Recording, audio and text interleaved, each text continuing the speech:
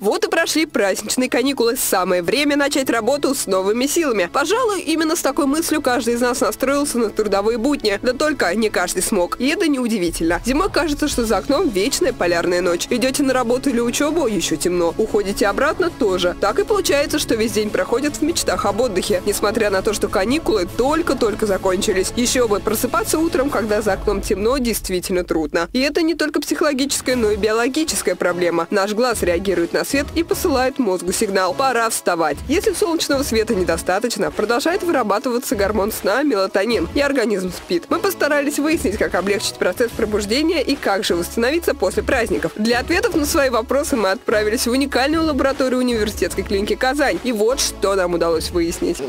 Сам процесс просыпания связан с тем, что э, в организме в ночное время вырабатывается мелатонин, который гормон такой, э, который способствует э, наступлению сна. И, соответственно, если будет освещение при ярком освещении, это, этот гормон, уровень гормона снижается.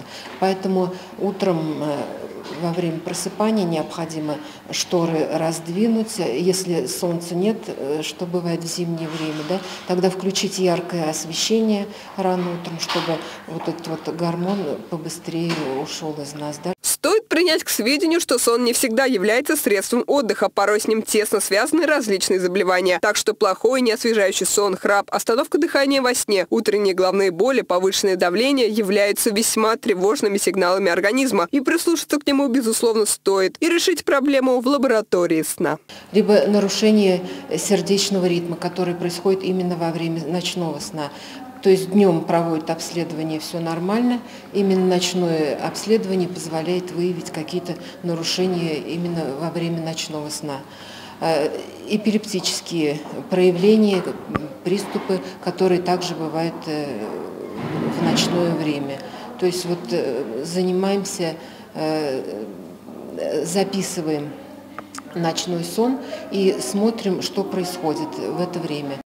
Нарушения сна являются довольно распространенной проблемой. Они встречаются в любом возрасте и для каждой возрастной категории характерны свои виды нарушений. Симптомы, как правило, разнообразны. Но каким бы ни было нарушение сна, за короткий период времени оно может привести к изменению эмоционального состояния, внимательности и работоспособности человека. Э, пациенты приходят, жалуются на нарушение сна, кто-то на бессонницу заснуть не может, кто-то наоборот излишнюю сонливость не может проснуться и чувствует себя днем разбитым, не выспавшимся. Сон – большая эволюционная загадка. Если бы существовала хоть какая-то возможность обойтись без сна, организм, овладевший этим навыком, мог бы получить серьезные преимущества. И, тем не менее, таким навыком не овладел никто. А вот болезнь сна пришла ко многим. Но, к счастью, это не повод для паники. Решить данную проблему легко и просто. Ведь сомнологи университетской клиники «Казань» всегда готовы протянуть руку помощи. Аделя Шамилова, Роман Самарин, Univer News.